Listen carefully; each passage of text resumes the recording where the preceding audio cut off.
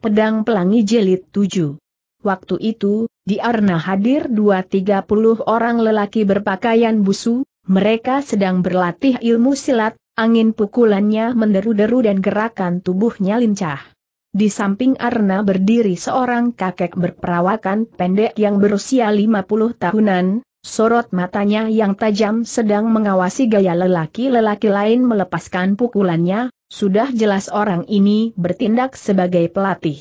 Huan Chuin mengikuti di belakang Kim Koan Si mengitari lapangan menuju ke dalam ruangan sudah barang tentu tak tersedia waktu cukup baginya untuk mengawasi lebih seksama. Lapangan berlatih silat memang cukup lebar, pada waktu itu di depan ruangan lapangan terletak sebuah kursi kebesaran, orang yang sedang duduk di sana tak lain adalah He Im Hong, pecu benteng keluarga He E. Di kedua belah sisinya tersedia pula delapan buah kursi namun semua bangku itu kosong, tapi di bagian muka undak-undakan batu menuju ke ruangan, berdiri empat lima orang. Bila ditinjau dari dandanan mereka jelas orang-orang itu pun merupakan para pelatih. Huan Chuin mengikuti di belakang Kim Koan Si menuju ke ruang depan, Hei E Im Hang yang melihat kedatangannya segera berseru sambil tersenyum, Hiantit, cepat kemari. Huan Chuim segera datang ke hadapannya lalu berkata dengan hormat, keponakan menjumpai Empek Hei E. E Im Hang menarik tangan Huan Chuim dan menyuruhnya duduk di sampingnya lalu sambil tertawa ramah katanya. Hiantit, duduklah dulu sambil menyaksikan mereka berlatih, orang itu adalah para centeng benteng kami. Beberapa orang suhu sedang memberi petunjuk kepada mereka lalu sambil menuding ke arah kakek pendek yang berdiri di tepi arna itu, dia memperkenalkan. Dia adalah Jin Xiu Jin Suhu, berasal dari perguruan Pek Hok Bun, kepandaian yang mereka latih adalah ilmu pukulan Pek Hok Kun, maju maupun mundur semuanya dilakukan secara gagah dan angkuh, persis gaya seekor bangau putih. Huan Chuim segera mengalihkan pandangan matanya ke depan, Betul juga kedua tiga puluh orang lelaki kekar itu sedang merentangkan tangannya bergantian sambil memutar badan, semua gerakan dilakukan dengan lincah dan cekatan. Sampai jurus Pek Kok Kun selesai dilatih Jin Suhu baru memberi hormat kepada pocunya serta kembali ke tempat, namun dia tidak duduk di kursi, melainkan cuma berdiri saja di samping. Menyusul kemudian muncul seorang lelaki jangkung yang bertubuh ceking dan berusia 40 tahunan. Dia memberi hormat dulu kepada pocunya sambil berkata, sekarang, silahkan pocu menyaksikan latihan ilmu golok. Sementara itu, kedua 30 orang busu itu sudah meloloskan goloknya dengan cepat, mereka berdiri sambil menyilangkan senjata masing-masing, ketika melihat lelaki jangkung itu turun ke arna, serentak mereka melakukan gerakan penghormatan. Sambil berpaling ke arah Huan Chuim, Hei E Im Hang segera menerangkan. Yang ini adalah Tuit Hui, Susuhu, dia merupakan jagoan lihai dari perguruan Te Siang Bun aliran utara, ilmu yang diajarkan adalah ilmu golok Chu Siang Tu. Sementara berbincang-bincang, Susuhu telah memberi kode kepada para busu tersebut, Tentu saja kode itu merupakan komando untuk mulai berlatih. Kawanan busut tersebut segera memainkan ilmu golok Chu Xiang Tu, sesuai dengan namanya, ilmu golok tersebut merupakan sejenis ilmu yang khusus menyerang bawah, oleh sebab itu ketika memainkan jurus-jurus serangannya, mereka selalu menggunakan kuda-kuda KHI boboh dengan merendahkan tubuhnya. Baik gerakan maju maupun gerakan mundur, semua diikuti dengan gerakan berputar, permainan golok pun dari lamban-lambat laun menjadi semakin cepat. Pada mulanya masih kelihatan jurus-jurus serangan yang mereka pergunakan, namun pada akhirnya cuma terlihat segulung cahaya golok yang menyambar kian kemari tak terlihat sama sekali bayangan tubuhnya. Biarpun terdiri dari dua tiga puluhan gulung cahaya golok semuanya bergerak seragam dan gerak-geriknya matang dan sangat terlatih. Diam-diam Huan Chuim memuji akan kehebatan mereka, ia merasa seorang centeng saja sudah memiliki kepandaian silat sedemikian hebatnya, sudah jelas kepandaian tersebut bukan berhasil diperoleh hanya di dalam satu dua hari saja.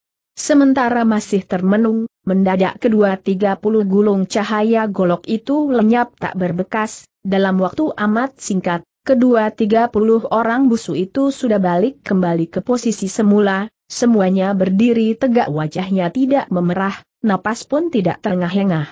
Susuhu segera membalikan badan sembari memberi hormat. Bagus, bagus puji Hei Im Hang sambil mengangguk berulang kali. Susuhu segera naik kembali ke atas undak-undakan dan berdiri bersama dengan Jin Suhu sekalian berlima. Biarpun di bawah undak-undakan disediakan delapan buah bangku yang jelas dipersiapkan untuk tempat duduk para pelatih, tapi kenyataannya tak seorang pun di antara mereka yang berani duduk di samping pocu mereka. Hei e Im Hang segera mengangkat tangannya ke arah kawanan busu tersebut, serentak para busu menyarungkan kembali goloknya dan mengundurkan diri kedua belah sisi dengan cepat. Sambil mengelus jenggotnya yang hitam, Hei e Im Hang segera berpaling dan ujarnya sambil tertawa. Hiantit sekarang tiba giliranmu, sejak kecil kau sudah mengikuti lokaan kau berlatih ilmu silat bukan? Sekarang Empek Hee ingin mengetahui sampai di manakah latihan yang berhasil kau peroleh. Ketika Huan Chuin mendengar ia diminta tampilkan diri untuk bermain silat di hadapan orang banyak mukanya segera berubah menjadi merah, lalu katanya agak tergagap.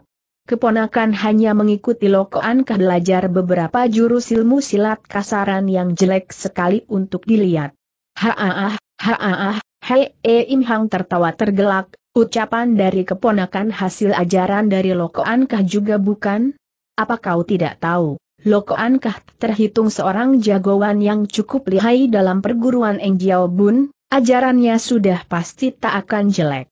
Mari, keponakan tak usah malu-malu, di hadapan Empek Hei, kurang baik dalam latihan pun tak menjadi soal, toh aku hanya ingin mengetahui dasar-dasar ilmu silatmu agar Empek Hee bisa mengajarkan pula kepandaian silat lain untukmu. Kemudian sambil menunjuk ke arah beberapa orang yang berdiri di tepi arna, dia menambahkan. Beberapa orang suhu tersebut masing-masing memiliki keahlian yang berbeda, di kemudian hari keponakan akan berjumpa dengan mereka setiap hari, tak ada salahnya kau minta banyak petunjuk dari mereka. Jin Xiu dan Tuit Hui sekalian buru-buru menjura sembari berkata, perkataan Pocu terlampau tinggi, Hei E Im Hang tertawa tergelak. Dia adalah keponakanku Huan Chuim, harap suhu sekalian suka banyak memberi petunjuk kepadanya. Huan Chuim segera menjura kepada mereka. Buru-buru Jin Xiu sekalian membalas memberi hormat sambil merendah. Memberi petunjuk mah tak berani, asal Huan Kong Chu punya kegembiraan, mari kita ingin meneliti. Baiklah, Hiantit, sekarang kau boleh turun ke gelanggang, semua yang hadir sekarang adalah orang sendiri, kau tak usah canggung atau malu-malu lagi. Oleh karena dipaksa oleh keadaan, mau tak mau Huan Cuim harus bangkit berdiri dan turun ke gelanggang, tanpa melepaskan jubah luarnya lagi, dia berjalan satu kaki ke tengah harna, kemudian sambil memberi hormat kepada Hei E Im Hong, katanya Xiao Tit akan mainkan ilmu Ye Usin Kina Jiu, harap petunjuk dari Empek Hei E.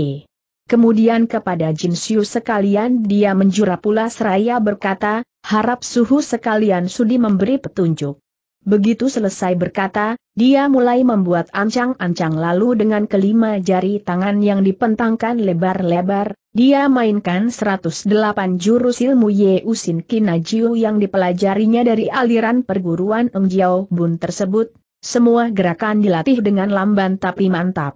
Dia masih teringat akan semua pesan gurunya bahwa segenap ilmu silat yang dipelajarinya tak boleh diperlihatkan kepada orang luar, oleh karena itu ilmu Ye Usin Kinajiu yang dimainkan sekarang, paling banter hanya disertai dengan tenaga sebesar lima bagian. Perlu diketahui, ilmu silat yang dipelajari dari gurunya merupakan ilmu silat dengan menggunakan tenaga dalam aliran lurus, sekalipun dia telah berusaha untuk menyembunyikan kekuatan dan tak berani terlalu menyolok, tapi bagi seorang dengan tenaga dalam sepuluh bagian tapi kenyataannya hanya mempertunjukkan tenaga lima bagian sedikit banyak kekurangan tersebut akan terlihat dalam jurus-jurus permainannya, di mana tampak tenaga dalamnya seperti tersendat-sendat. Otomatis kejadian ini menimbulkan kesan yang lain bagi semua penonton yang menyaksikan latihan tersebut.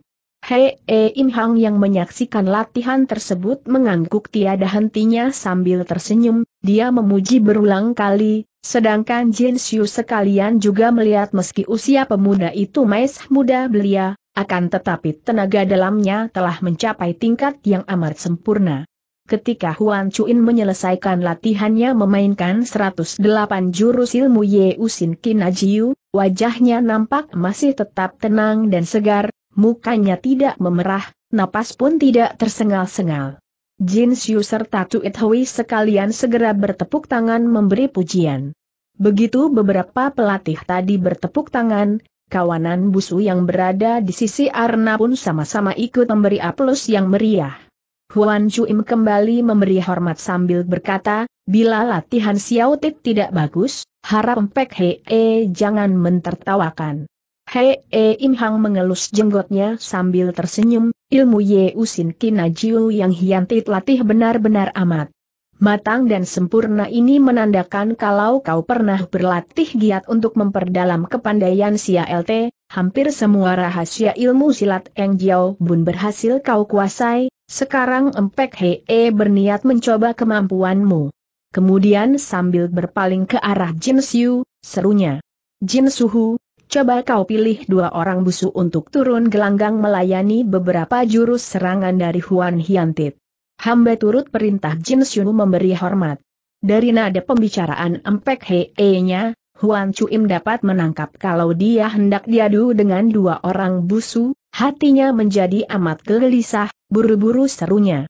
Empek hee, Xiao Tit tak mampu, apalagi Xiao Tit pun belum pernah bertarung melawan orang. Hian Tit tak usah takut Hei Im Hang mengelus jenggotnya sambil tertawa, belajar ilmu silat mempunyai tujuan dipakai untuk membela diri, menurut penilaian Empek Hei, ilmu kinajiu yang barusan kau pelajari sudah mencapai enam bagian sempuran, oleh sebab itu biar Jin Suhu mencarikan dua orang lawan untuk latihanmu, coba kau lihat apakah mampu untuk menghadapi mereka? Hiantit tak perlu khawatir, pokoknya Empek Hee tidak akan membiarkan kau menderita kerugian. Sementara itu Jin Xiu telah membalikan badan sambil berseru lantang Xiao Liong Jin, Tu Liong Seng. Hamba siap dari sisi kiri terdengar ada orang menyaut. Bersamaan itu pula muncul dua orang busu yang segera bersiap-siap dengan wajah serius. Pecu menitahkan kepada kalian berdua untuk berlatih beberapa jurus dengan Huan Kongcu, masing-masing pihak hanya membatasi diri saling menutul saja, serangan tak boleh terlalu berat. Mengerti? Hamba turut perintah kedua orang busu itu segera memberi hormat. Setelah tersenyum kembali Hei Hang berkata, Hiantit, Pertarungan ini hanya latihan saja, bukan pertarungan sungguhan, tapi mereka adalah jago-jago yang berpengalaman dalam pertempuran. Bila Hiantit memang baru pertama kali ini bertarung, kau tak usah takut-takut, turun tangan saja semampumu. Huan Chuin masih muda, rasa ingin menang pun masih amat tebal melekat dalam sifatnya, dari pesan Jin Xiu kepada kedua orang busu tadi, ia sudah mendengar kalau pertarungan hanya dibatasi dengan saling menutul belaka. Sedang Empek Hee sekarang menganjurkan kepadanya agar mengerahkan segenap kemampuan yang dimiliki tanpa ragu-ragu. Hal ini sama artinya kalau kedua orang busuk tersebut jauh lebih mampu daripada dirinya.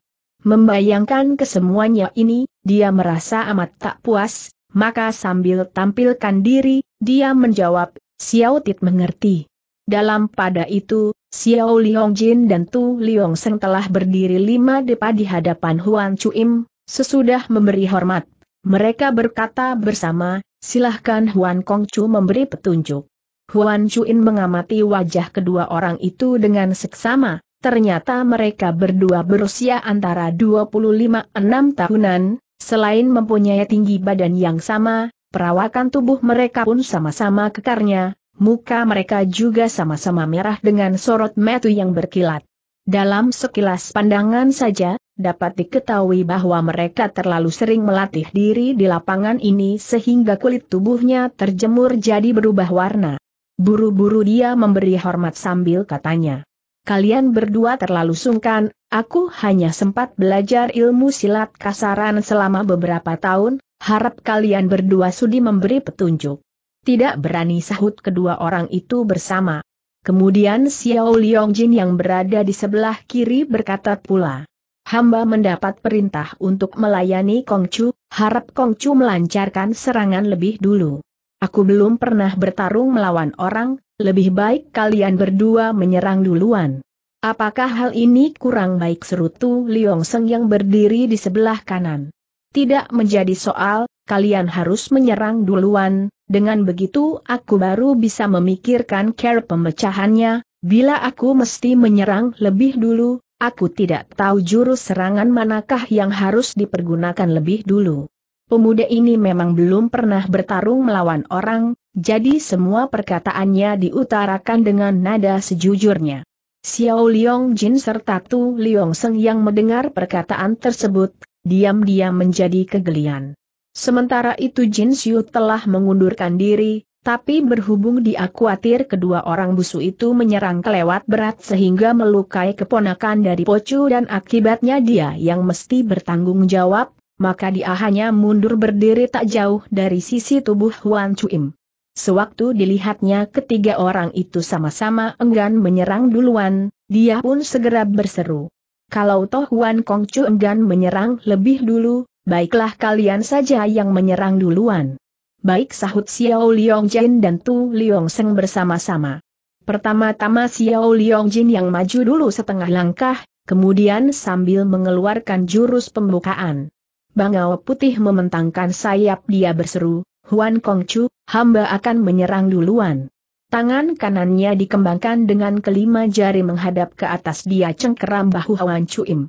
Jurus serangan tersebut tak berani dilancarkan kelewat cepat, namun ketika dilepaskan toh disertai pula dengan deruan angin serangan yang sangat kuat. Ilmu silat yang dilatih Huan Chuim bernama Ye Usin Kinajiu, arti Sin sendiri adalah untuk menghadapi pertarungan jarak dekat, tentu saja termasuk cara menghindarkan diri dari serangan jarak dekat lawan. Ketika menyaksikan tangan kanan Xiao Liong Jin menyambar ke arah bahunya, ia segera miringkan badannya menghindar sejauh satu dipa ke samping. Siapa tahu baru saja dia berkelit dari serangan Xiao Liong Jin, Tu Liong Seng telah membuka serangan pula, sambil berputar setengah lingkaran ia berteriak, Kongcu, hati-hati kau. Tangan kirinya diayunkan dari kejauhan, sebuah pukulan jari tangan diarahkan ke iga kiri Huan Chuim. Tentu saja serangan yang dilancarkan olehnya tak berani dilepaskan dengan gerakan yang terlalu cepat. Tiba-tiba Huan Chuin melangkah maju ke muka dan berkelit dari sisi kanan Tu Liong Seng, jurus serangan dari Tu Liong Seng tersebut secara persis menyambar lewat dari sisi badannya serta mengenai sasaran kosong. Begitu serangan pertama dari Xiao Liong Jin terhindar, tangan kanannya segera dikebaskan ke muka sambil berganti jurus, Lalu dia membalikan badan menghindar ke belakang Huan Chuim dan menggunakan jurus bangau putih mencakar ular, kelima jari tangan yang dipentangkan langsung mencengkeram tengkuk pemuda tersebut.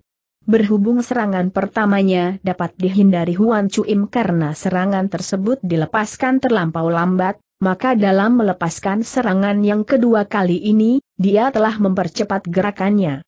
Baru saja serangan tersebut dilancarkan Huan Chuin seolah-olah mempunyai sepasan matu yang tumbuh di belakang punggungnya, tiba-tiba dia membalikan badan tangan kirinya digapai dan persis mencekik punggung tangan Xiao Liong Jin serta menolaknya keluar.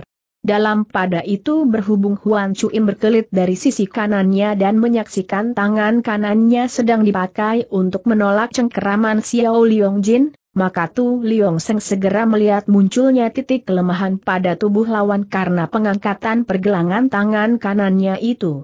Peluang yang sangat baik ini tentu saja tak akan disia-siakan dengan begitu saja, kaki kirinya segera maju mendesak bahu kanannya direndahkan dan mengeluarkan jurus pentang sayap mencari jalan, dia bacok tulang iga Wan Chuim.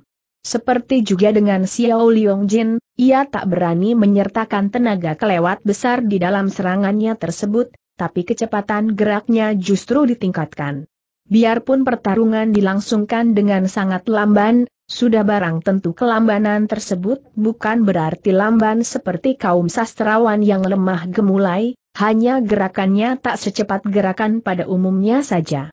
Padahal dalam kenyataan pun mereka saling desak-mendesak. Tolakan tangan kanan dari Huan Chuim juga dilancarkan tidak terlalu cepat, tapi Xiao Liong Jin terlanjur menggunakan jurus serangannya sampai tengah jalan, tak kuasa lagi tubuhnya kena ditolak sampai berputar dan buru-buru melompat ke samping. Huan Chuim sedikit pun tidak merasa gugup atau panik, setelah mendorong Xiao Liong Jin, Tiba-tiba sikut kanannya menyodok ke bawah dengan sodokan tersebut sikutnya persis menghantam di atas tulang persendian telapak tangan Tu Liong Seng yang sedang menyerang tiba, letaknya pada lekukan di bawah ibu jari.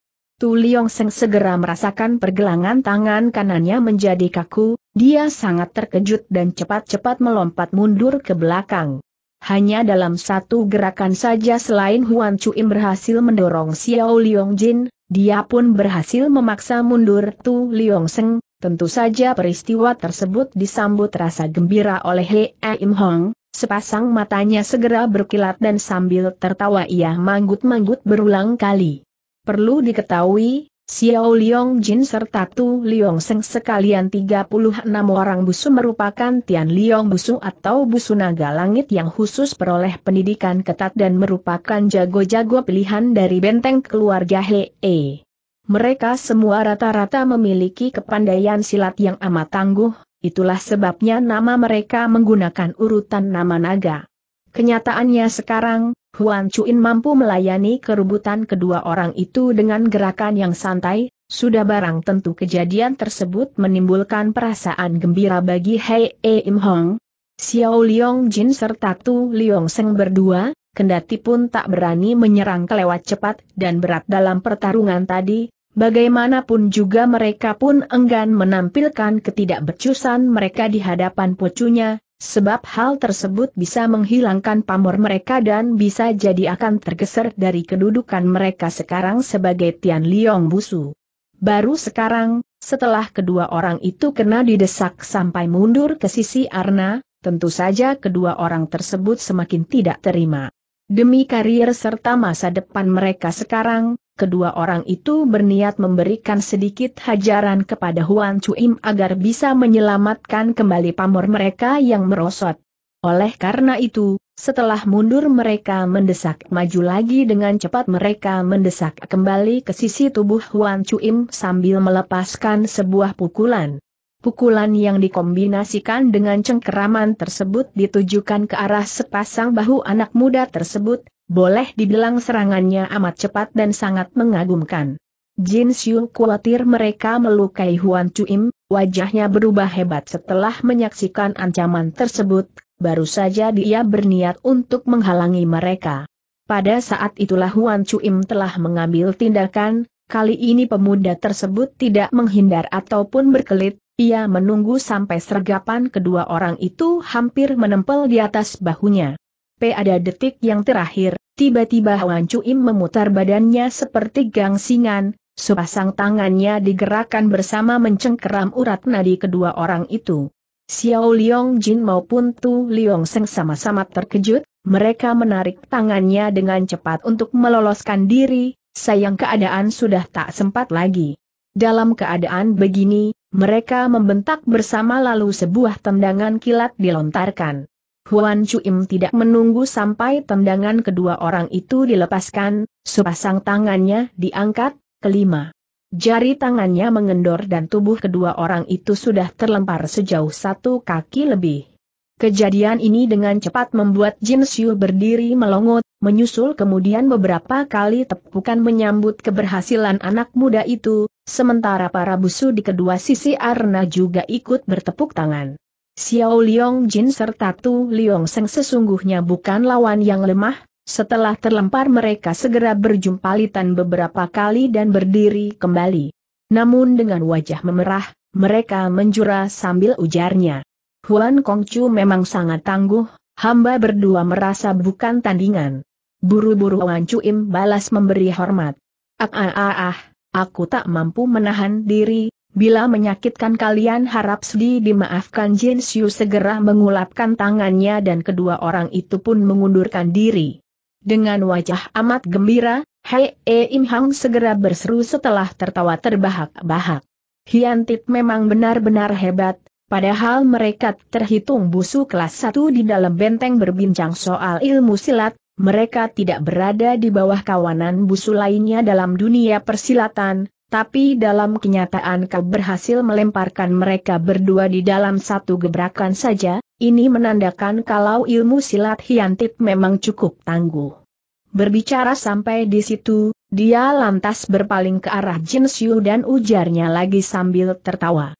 Jin Suhau, aku menyuruh kau mengirim dua orang turun ke gelanggang, maksudku tak lain adalah agar kau mau percaya, sekarang terbukti bukan kalau aku tidak salah melihat Jin Xiu buru-buru membungkukan badan sambil tertawa paksa. Setiap ilmu silat yang berada di dunia ini, asal sudah diperlihatkan tentu saja tak akan lolos dari pandangan mata Pocu, barusan Pocu menitahkan kepada hamba untuk mengutus dua orang bus waktu itu hamba memang sudah mulai curiga, sambil mengelus jenggotnya Hei E Im Hang segera tertawa terbahak-bahak. Haaah, haaah, haaah, keponakanku ini tak lain adalah putra saudara angkatku si jago berbaju hijau Huan Taiseng, ayah harimau tak akan mempunyai anak anjing, Sejak dulu aku sudah tahu kalau ia berbakat bagus serta merupakan bahan baik untuk belajar silat. Coba kalian saksikan, dia hanya belajar ilmu Yeusin Kinajiu dari pengurus rumah tangganya, tapi kenyataannya sudah memiliki kemampuan sehebat ini, bila aku memberi petunjuk kepadanya, tak sampai tiga tahun tanggung dalam dunia persialatan akan bertambah lagi dengan seorang jago muda yang berkepandaian sangat hebat, Seusai berkata kembali ia tertawa terbahak-bahak penuh perasaan bangga. Bagaimanapun juga Huan Chuin masih muda, watak ingin menangnya masih besar, wajahnya kontan saja berseri setelah mendengar perkataan dari He E Im Hang tersebut, hati kecilnya merasa gembira sekali. Sekembalinya ke sisi He E Im Hang, dengan wajah memerah dia lantas berkata, pujian dari Empek He E tak berani Xiao Ti terima. Hei e Im Hang segera menariknya agar duduk di sampingnya, kemudian sambil tersenyum dia berkata, Hiantit tak usah terlalu merendahkan diri, kau adalah putra si jago berbaju hijau. Keponakan dari aku orang si Hei, sudah sepantasnya bila kau mempunyai nama yang tersohor dalam dunia persilatan, bukan Empek Hei sengaja mengunggulkan diri sesungguhnya apa sih arti dari sembilan partai besar dalam pandangan kami. Tergerak hati Huan Chuin mendengar perkataan itu dia lantas teringat pula akan perkataan dari si burung berkepala sembilan Sohon Sim semalam. Apakah artinya dari Gobit Pai? Sekalipun sembilan partai besar juga tak berakal dipandang sebelah mata pun oleh Pocu. Agaknya Empek Hee benar-benar tak memandang sebelah mata pun terhadap sembilan partai besar. Kalau mendengar penuturan dari Lokoan kah, sembilan partai besar merupakan perguruan-perguruan kaum lurus yang amat ternama di dalam dunia persilatan, tapi bila didengar dari nada pembicaraan Empek Hee, tampaknya dia seperti menaruh permusuhan terhadap sembilan partai besar. Hiantet Hee Im Hang segera berpaling, apa sih yang sedang kau pikirkan? Ah ah ah ah, ah tidak ada apa-apa. Pernahkan Lokan Keh mengajarkan ilmu senjata kepadamu? Huan Chuim tak berani mengatakan kalau gurunya pernah mewariskan ilmu pedang Cikiam Cap Sasi, 13 jurus ilmu pedang jari, kepadanya, terpaksa dia menggelengkan kepalanya berulang kali. Belum pernah. Baik, mulai besok pagi Mpek Hee akan mengajarkan ilmu pedang Kyo Kong Kiam Hoat lebih dulu kepadamu. Terima kasih Mpek Hee seru Huan Chuim dengan girang. Hee Im Hang tertawa terbahak-bahak. Haaah, haaah, haaah, nak asal kau bersedia belajar, Empek Hee pasti akan mewariskan segenap kepandaian silat yang aku miliki kepadamu. Dalam tiga tahun mendatang, aku hendak menciptakan kau sebagai seorang jago muda nomor wahid dalam dunia persilatan. Kemudian sambil bengkit berdiri, dia manggut-manggut kepada Jin Xiu dan Tuit Hui sekalian sambil berkata, Baik, kalian boleh melanjutkan latihan kemudian sambil menarik tangan Huan Chuim, serunya, Hiantit, mari kita pergi. Jin Xiu dan Tuit Hui sekalian kelima orang pelatih itu segera membungkukan badan memberi hormat. Hamba menghantar kepergian Pocu. Huan Chuin mengikuti di belakang He E Im Hang kembali ke kamar baka. Sambil melepaskan genggamannya, He E Im Hang berkata kemudian dengan suara ramah. Nak tempat ini merupakan kamar bak keempek He, silahkan duduk. Seorang dayang berbaju hijau itu segera menghidangkan dua cawan teh wangi untuk Pocu dan Huan Chuim. Melihat dayang itu berusia hampir sebaya dengan Ji Giok tanpa terasa Huan Chuim terbayang kembali nasib gadis tersebut entah Ji Giok betul-betul jatuh sakit? Ataukah sengaja dipindahkan oleh Ciu Chongkoan? Sebetulnya dia ingin mintakan ampun bagi Ji Giok namun terasa sukar untuk mengutarakannya keluar. Dalam pada itu Hei e Im Hang telah berjalan menuju ke depan sebaris almari buku yang berada di sebelah utara, dia membungkukan badan membuka laci almari bagian bawah dan mengeluarkan sebilah pedang panjang, kemudian setelah menutup kembali almarinya dan bangkit berdir, ujarnya sambil tersenyum. Hiantit, coba kau lihat bagaimana dengan pedang ini. Sambil berkata, keriing ia meloloskan sebilah pedang panjang yang sempit memancarkan cahaya hijau yang menyilaukan mata, tubuh pedang tersebut amat tipis, sekilas pandangan saja dapat diketahui sebagai pedang jempolan. Pedang ini biasa dipergunakan oleh Pempek Hee tanya Huan Chuim kemudian. Hei e Im Hang disebut orang sebagai Huai Lam Tai Hiap yang tersohor dalam dunia persilatan, sudah barang tentu ia mempunyai sebuah pedang mustika. Hei e Im Hang menyarungkan kembali pedang itu, kemudian ujarnya sambil tersenyum. Empek Hei jarang memakai pedang, pedang ini dulunya milik seorang teman Empek yang membawanya dari wilayah Leng Lam. Semula terdiri dari sepasang, yang satu bernama Kim Nye, pedang pelangi hijau, yang lain bernama Chai Hong, pedang pelangi merah. Kalau pedang Kim Nie memancarkan sinar kehijau-hijauan maka pedang Chai Hong justru memancarkan cahaya merah bila terkena pancaran sinar matahari. Pedang ini sangat tajam, sekalipun tak bisa membelah pualam memotong emas. Senjata tajam biasa niscaya akan terpapas kutung, senjata tersebut memang terhitung senjata yang tajam sekali. Tapi buat Empek Hee, senjata itu kelewat enteng, itulah sebabnya selama ini selalu kusimpan dalam almari dan tak pernah kupergunakan justru karena entengnya senjata tersebut, paling cocok bila dipakai oleh mereka yang baru belajar ilmu pedang hiantit. Bila kau senang, Empek Hee akan menghadiahkan untukmu. Tentu saja Huan Chu amat senang, ditengoknya wajah Empek Hee lalu katanya. Empek Hee, pedang ini tentu mahal sekali, keponakan. Hei e Im Hang tertawa terbahak-bahak. Haaah, haaah, haaah, nak kau adalah satu-satunya keponakan empek, hubungan empek dengan ayahmu melebihi saudara sekandung. Semenjak kecil empek juga. Paling senang dengan kau, apalah artinya sebilah pedang? Apalagi empek jarang mempergunakannya, Bila kau memang tertarik ambil saja pedang mengapa bersungkan-sungkan terhadap pempek?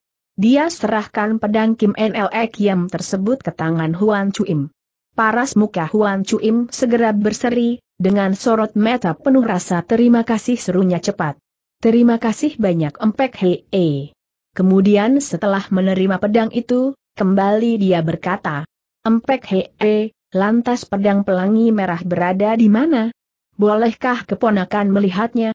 Dulu Xiaoli selalu ribut menginginkan pedang itu, Empek telah menghadiahkan untuk putriku itu.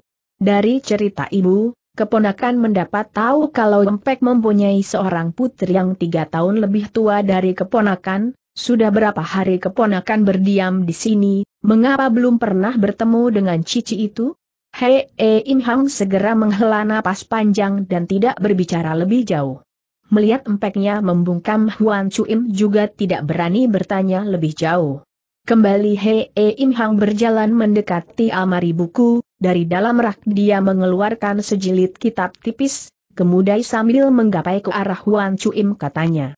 Hiantit, kemari kau. Kitab ini merupakan kitab salinan ilmu pedang Kyo Kiong Buah dari Kyo Kiong Bun, setiap kali melancarkan jurus pedang kaki harus melangkah mengikuti gerakan Kyo Klong, merupakan ilmu pedang yang paling baik ilmu langkahnya. Di dalam kitab tersebut sudah dicantumkan rumus serta penjelasannya, terdapat pula keterangan yang menjelaskan setiap bagian, gerakan, ambil dan bawalah dahulu kitab tadi hafalkan rahasianya, bila terdapat hal-hal yang tidak mengerti, setiap saat kau boleh datang mencari empek untuk minta penjelasan. Kemudian setelah meneguk air tehnya setegukan, dia berkata lebih jauh.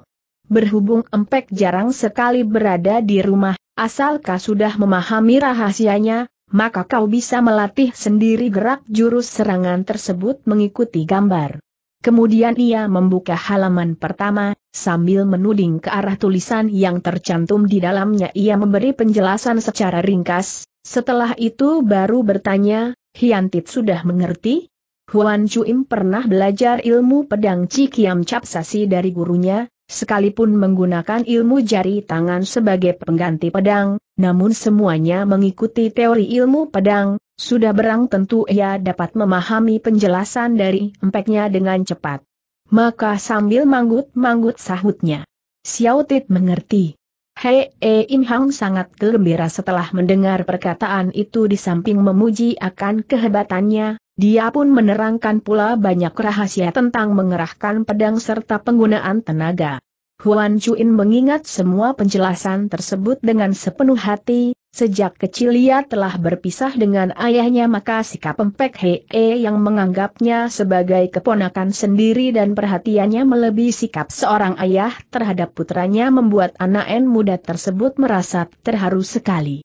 Tengah hari itu, Hei Im Hang menahannya agar bersantap bersama dengan di dalam kamar bakal, Kemudian pemuda itu baru berpamitan dan pulang ke kamarnya dengan membawa pedang Kim Nie Kiam serta kitab ilmu pedang Kyo Klong Kiam Hoat. Kembali ke gedung timur, dia sudah menyaksikan Cigiok berdiri seorang diri di depan kebun bunga, seakan-akan sedang menantikan kedatangan seseorang. Ketika melihat kemunculan pemuda itu merah dadu selembar wajah Cigiok, buru-buru dia menyambut kedatangannya sambil menggerutu. Huan Kongcu, mengapa kau tidak pulang-pulang? Budak menjadi gelisah setengah mati. Nona, apa yang kau khawatirkan? Budak khawatir Pocu mengetahui peristiwa semalam bisik Cigiok sambil menundukkan kepalanya rendah-rendah. Huan Chuim segera tertawa. Bagaimana mungkin dia bisa tahu Oyaka sudah bersantap? Sambil bertanya dia masuk ke dalam kamarnya. Cigiok membalikan badan mengikuti di belakang tubuhnya, lalu menjawab lirih, sebelum Kongcu pulang, budak mana berani makan dulu? Aku telah bersantap bersama Empek Hee kamar bacanya Huan Chuim tertawa, cepat kau masuk dan bersantap dulu. Ah ah ah ah ah, tidak mengapa. Kemudian dengan nada penuh perhatian, Dayang itu bertanya lagi. Huan Kongcu, kau telah pergi hampir setengah harian lamanya, apa sih yang kau lakukan? Aku berada di lapangan latihan silat. Mendengar kata-kata lapangan latihan silat, Cigiok seakan-akan merasa tertarik sekali, dengan membelalakan matanya lebar-lebar, dia bertanya lagi. Setiap orang anggota benteng yang tidak mendapat izin dari Pocu, dilarang memasuki lapangan latihan silat tersebut. Menurut pendapat budak lapangan latihan silat tersebut, tentu dipergunakan seseorang untuk berlatih semacam ilmu silat rahasia, entah selapa-selapa saja yang berada di situ.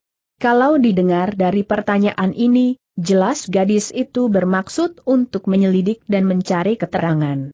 Agaknya orang yang berlatih silat di tempat itu adalah sekawanan busu kelas 1 dari benteng, jumlahnya mencapai tiga puluhan orang kata Wan Im Cigiok segera manggut-manggut. Kalau begitu mereka sudah pasti dari kelompok Tian Liong Busu, entah siapa-siapa pula yang mengajarkan ilmu silat kepada mereka semua. Pelatihnya berjumlah lima orang, tapi aku hanya mengetahui dua di antaranya, yang seorang bernama Jin Xiu sedangkan yang lain bernama Tuit Hui. Mendengar nama-nama tersebut, Cigiok segera mendengus dingin, HMM, si bangau abu-abu Jin Xiu dan golok pemutus nyawa Tuit Hui. Jadi kau mengenali mereka? Tidak aku tidak kenal Cigiok menggelengkan kepalanya berulang kali, budak cuma mendengar orang membicarakan tentang mereka, kedua orang tersebut merupakan sampah-sampah masyarakat dari golongan hitam. Wah, mereka adalah orang-orang dari golongan hitam Huan Chuin menjerit kaget. Yang bernama Jin Xiu adalah pengkhianat dari perguruan Bangau Putih sedang berusaha mencari dia di mana-mana, rupanya dia sudah tak bisa menancapkan kakinya lagi di dalam dunia persilatan, maka akhirnya dia pun bergabung dengan benteng keluarga Hee. Sambil memandang gadis itu, timbul pelbagai kecurigaan dalam hati Huan Chuim, segera dia bertanya lagi. Nona, sesungguhnya siapakah kau Cigiok tertawa manis? Bukankah budak pernah bilang, soal identitas serta asal-usul budak pada saat ini belum bisa dijelaskan kepada Kongcu? Senyumannya kali ini seperti sekuntum bunga yang sedang mekar, indah dan sangat menawan. Tanpa terasa Huan Im jadi melongo dibuatnya, dia segera mengangguk berulang kali. Baik, baiklah, aku tidak akan bertanya lagi. Cigiok membalikan badannya dan berkata kemudian Buddha akan mengambilkan air teh untuk Kongcu. Dengan cepat ia beranjak pergi, tak lama kemudian gadis itu muncul kembali dengan membawa sebuah cawan berisi air teh, setelah diletakkan ke atas meja, diliriknya pedang yang tersoren di pinggang pemuda itu sekejap lalu tanyanya, Ongcu, rasanya budak belum pernah melihat pedangmu itu. Barusan saja Empek menghadiahkan pedang itu untukku, Wah, kalau-kalau begitu ilmu pedang Kongcu pasti amat. Bagus ujar Cigiok sambil melirik ke arahnya, mungkin Pocu khusus mengundang Kongcu menuju ke lapangan latihan silat untuk menyaksikan ilmu pedang Muhawan Cuim segera tertawa. Aku tak pernah belajar pedang, tetapi tebakanmu memang betul separuh, Empek Hee memang bermaksud melihat kepandaian silatku, malah dua orang busu sempat kulempar ke belakang. AKH, masa Kong Chu mampu melempar kedua orang Tian Liong busut tersebut Chi Giok nampak seperti kurang percaya. Huan Im segera tertawa terbahak-bahak. Haaah, haaah, haaah, bagaimana? Kau tidak percaya? Haaah, haaah, haaah, apakah kau benar-benar menganggap aku orang Shi Huan sebagai kutu ayam? Budak tidak berani. Mendadak Cigiok seperti memahami sesuatu, wajahnya kembali berubah menjadi merah padam, dengan kepala tertunduk dia lantas berbisik. Rupanya semua pembicaraan budak kemarin berhasil Kongcu dengar. Harap Kongcu sudi memaafkan kelancangan budak, Huan Im kembali tertawa terbahak-bahak. Aku hanya bergurau saja, tak usah kau pikirkan persoalan tersebut di dalam hati. Terima kasih Kongcu. Cigiok memberi hormat. Lalu bisiknya lagi secara tiba-tiba semalaman Kong Chu sudah tak tidur, sekarang seharusnya pergi beristirahat sebentar, malam nanti bisa jadi masih ada urusan. Malam nanti masih ada urusan apa tanya Huan Chuim dengan perasaan ingin tahu Cigiok segera tertawa misterius. Sampai waktunya, Kong Chu pasti akan mengetahui dengan sendirinya.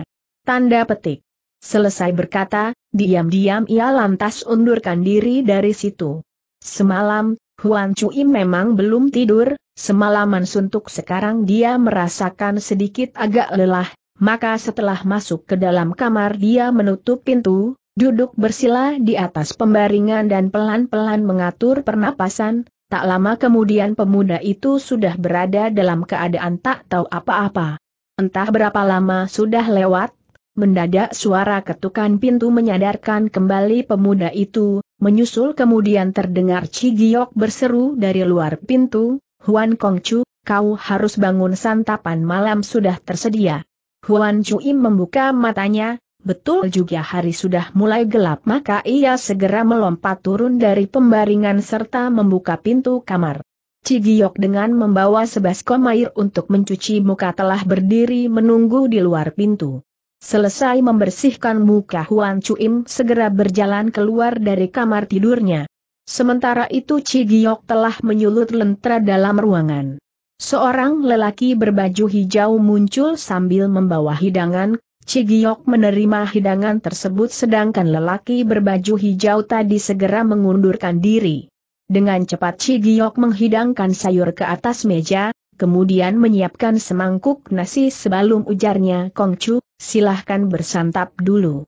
Huan Chuin manggut-manggut sambil duduk tapi tak tahan di atoh bertanya lagi, Nona, kau mengatakan malam nanti ada urusan, sebenarnya apa sih yang bakal terjadi Ci Giok tertawa. Kalau sedang bersantap lebih baik jangan berbicara, silahkan Kong Chu bersantap dulu, Sampai saatnya yang paling tepat, budak pasti akan menerangkan kepadamu. Wah, pandai amat kau jual mahal. Itu namanya rahasia langit tak boleh bocor bisik Cigiok sambil menempelkan jari tangannya di atas bibir dan tertawa. Terpaksa Huan Cuim tidak bertanya lebih jauh dan buru-buru bersantap. Selesai mengisi perut, Cigiok menghidangkan sebuah handuk panas untuk membersihkan muka, lalu dihidangkan pula secawan air teh, sebelum ia sendiri membersih mangkuk piring serta mengundurkan diri dari sana. Huan Chuim tahu kalau gadis itu pergi ke belakang untuk bersantap hanya saja ia tak tahu peristiwa apakah yang bakal terjadi malam nanti. Terpaksa sambil menghirup air teh, dia duduk tenang sambil menanti. Betul juga tidak lama kemudian Cigiok telah muncul kembali sembari berbisik. Kongcu, sekarang kau masih ada waktu untuk beristirahat beberapa saat lagi, lewat kentongan pertama nanti, Buddha akan datang untuk memanggilmu. Nama sebenarnya apa sih yang terjadi? Bersediakah kau menerangkan kepadaku sekarang juga? Kongcu akan tahu dengan sendirinya bila waktunya sudah tiba, sekarang tak usah banyak bertanya dulu, nah Buddha akan mohon diri, dengan cepat dia mengundurkan diri dari tempat itu. Huan Chuim hanya merasakan perkataan maupun gerak-gerik Cigiok penuh rahasia dan misterius, ia tak tahu obat apakah yang sedang dijual di dalam cupu-cupunya. Namun dia percaya Cigiok bukan orang jahat, tak mungkin akan mencelakai dirinya, bila dia telah berjanji akan muncul. Kembali pada kentongan pertama nanti, sudah pasti tidak akan muncul pada saatnya nanti. Maka dia pun kembali ke kamar, menutup pintu, memadamkan lentera dan seorang diri duduk menanti datangnya kentongan pertama. Menunggu orang merupakan suatu pekerjaan yang menjemukan dan menggelisahkan hati, apalagi perasaannya sekarang diliputi oleh pelbagai kecurigaan yang memenuhi benaknya. Dia ingin secepatnya tahu peristiwa apakah yang bakal terjadi pada malam nanti. Karena itu terasa olehnya waktu berlalu seperti rangkakan siput. Untung saja selisih waktu sampai kentongan pertama tidak terlalu jauh, setengah jam kemudian kentongan pertama pun sudah tiba. Dari luar pagar pekarangan terdengar suara kentongan dibunyikan satu kali pertanda kentongan pertama telah tiba. Nah, waktunya sudah tiba, Huan Chuim segera berpikir. Baru saja ia akan membuka pintu dan berjalan keluar.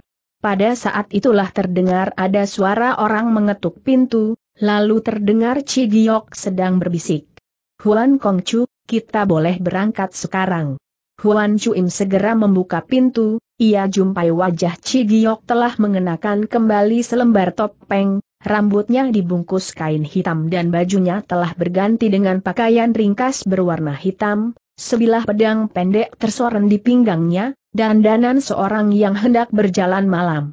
Menyaksikan pakaian ringkasnya yang ketat, tanpa terasa Huan Chuim terbayang kembali peristiwa semalam ketika ia menelanjangi gadis tersebut kontan saja hatinya terasa berdebar keras, napas pun turut memburu cepat-cepat dia bertanya. Nona, sebetulnya kita hendak ke mana? Tentunya kau bersedia menerangkan sekarang bukan? Berkilat sepasang metu Cigiok di balik kegelapan setelah tertawa rendah, sahutnya budak hendak mengajakmu menuju ke suatu tempat dan menjumpai seseorang, sudah cukup bukan? Menjumpai seseorang tanya Huan Chuim keheranan, siapakah orang itu? Sekali lagi Ci Giok menunjukkan sikap misterius, sambil menutupi bibirnya dan tertawa rendah ia menyaut. Kong Chu cukup mengikuti budak saja, kita akan ke mana, sebentar toh kau akan mengetahui dengan sendirinya. Kemudian tidak menunggu sampai Huan Chuim bertanya lagi kembali dia berbisik, tahukah Kong Chu mengapa budak harus memilih waktu kentongan pertama untuk ke sana? Kalau Nona tidak menjelaskan, dari mana aku bisa tahu kebanyakan orang yang berjalan malam sebagian besar akan bergerak selewatnya kentongan kedua, karena pada waktu itu malam sudah sepi dan jejak mereka tidak mudah kebocoran. Padahal penjagaan di dalam benteng akan mencapai saat yang paling ketat selewatnya kentongan kedua, di mana-mana akan tersebar para busu yang melakukan perondaan, berbeda sekali bila kita bertindak pada kentongan pertama, berhubung waktunya masih terlalu pagi perondaan, maupun penjagaan masih sedikit dan sangat mengendor. Oh, oh, oh, oh, rupanya begitu. Oleh sebab itu kita harus bertindak pada waktu begini asal beberapa buah pos penjagaan berhasil kita lampaui, maka jejak kita tak berakal ketahuan orang. Tapi setelah keluar dari gedung timur nanti harap Kong Chu jangan mengajak budak. Untuk berbicara lagi, segala sesuatunya bergerak menurut kode tangan budak lebih baik jangan bertindak sendiri-sendiri. Aku mengerti Huan Chuim mengangguk. Baik, kalau begitu kita harus segera berangkat. Seusai berkata tiba-tiba ia membalikan badan dan segera melompat keluar. Gerak-geriknya pada saat ini sudah tak lemah gemulai seperti di hari-hari biasa lagi sekali melompat, ternyata dia dapat bergerak dengan kecepatan seperti segelung hembusan angin, enteng, cepat dan sama sekali tidak menimbulkan suara.